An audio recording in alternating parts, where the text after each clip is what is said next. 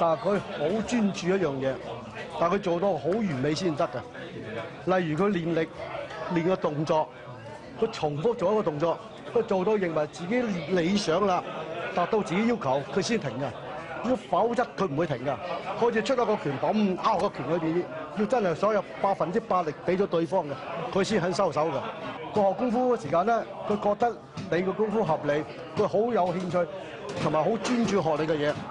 但係覺得你個功夫無理嘅時候咧，佢直情望都唔望你，即係唔使睇你。啊。英春拳は18世紀に元英春という女性によって考案されたと言われている。銃を持って豪を制する。弱者の護身のために編み出された。英春拳は腕で相手の動きを遮る手技が中心の拳法だ。小さおと呼ばれる組手が練習の基本となる。ぼいわゆる牧人剣だね。これがこれは人の手足を模した道具で英春拳の正確な型を繰り返し練習するために使われる。受け例えばこう受けの練習に入る即係咁樣咁樣練習。木人はこの角度と腕の硬さそして打つ場所を正確に狙う練習に使います。木人は固定されていますが人間相手の練習だと相手が動いてしまいます。だから木人は打ち手が自分で動く方の練習に向いているんです。あの日本の武道でこういう受けを専門にしたものってはないんですよ。あの対人間と人間が受ける練習はするけどこういうのはいいなと思いますね、なんでまた女性がその武術を作ったんですかね。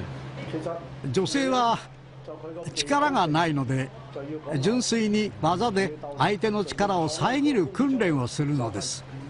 理論は単純ですよ。例えば2つの拳を思いっきり強く握ってみてください。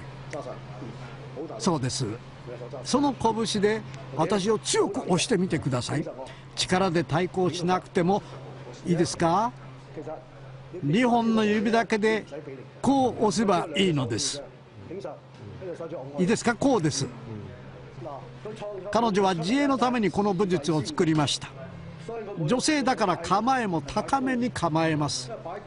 高めに構えることで腕の角度も自由自在になります。これは女性には乳房があるため胸を守るために腕の角度が大事なのです。これが理由です。手を交差したり開いたり自由に動かせます。倉田さんいいですか？ちょっとパンチを出してみてください。いやもっと早く。これでパンチがさばけます。決して力任せに払ったり跳ね上げたりしません。パンチを早めに出してこれで力を受け流します。どうしてそれで蹴りが少ないんですかね？足技もありますよ。じゃああの木人で説明しましょう。木人にも足があります。こうして腕を決めてから足で蹴るんですがこれも足技なんです。